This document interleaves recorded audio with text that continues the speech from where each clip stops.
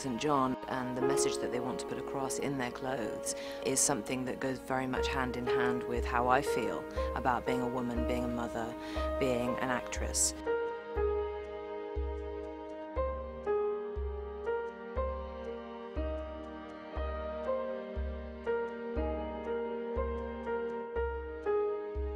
We are in a beautiful theatre in Jersey City. We've been shooting on the stage, um, very much trying to create the atmosphere of me, I guess, sort of at work or in some kind of work mode with the theatre being the backdrop.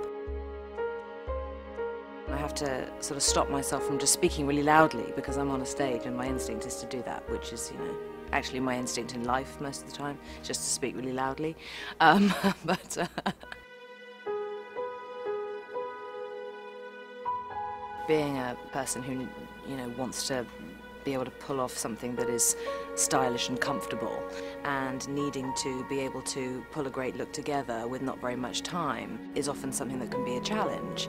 And you look at a company like St John and you can do it like that. You know the clothes are cut beautifully the fabrics are elegant. Um, you can look extremely chic without trying too hard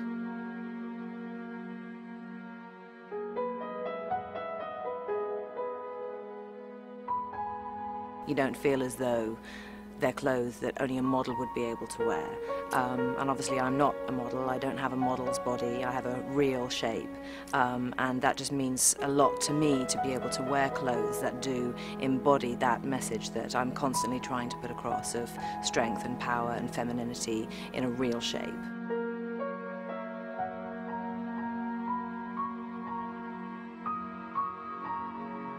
These are the kind of clothes that I would wear. Everything is comfortable. You feel very feminine wearing it. It's functional, it's practical, and it looks great.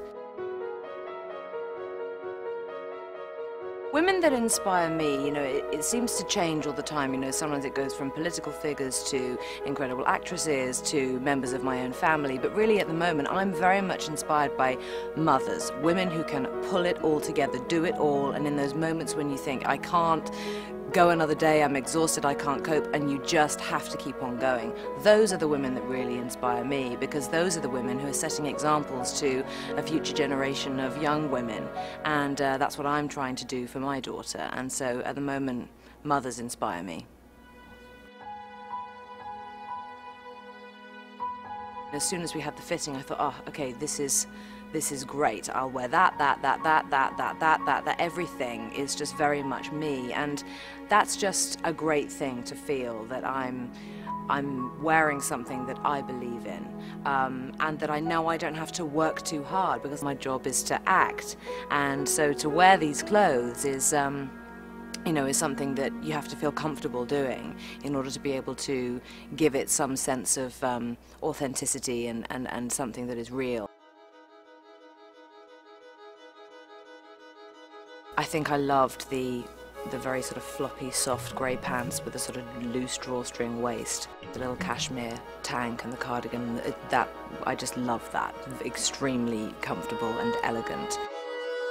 And also the beautiful camel-coloured dress. Such an amazing cut. Because of the fabric and the stretch in that fabric, the dress does the work that the undergarments would also do. It's kind of every woman's dream throw it on, zip up the back, go.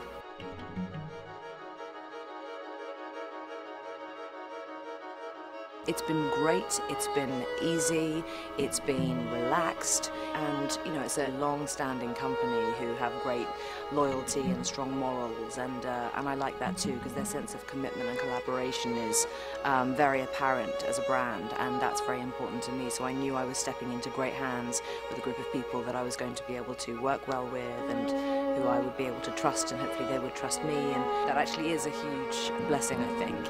Um, and you know, it, it makes for a very relaxed atmosphere on the set, which I think can affect the images as well. So yeah, it's been a really great day.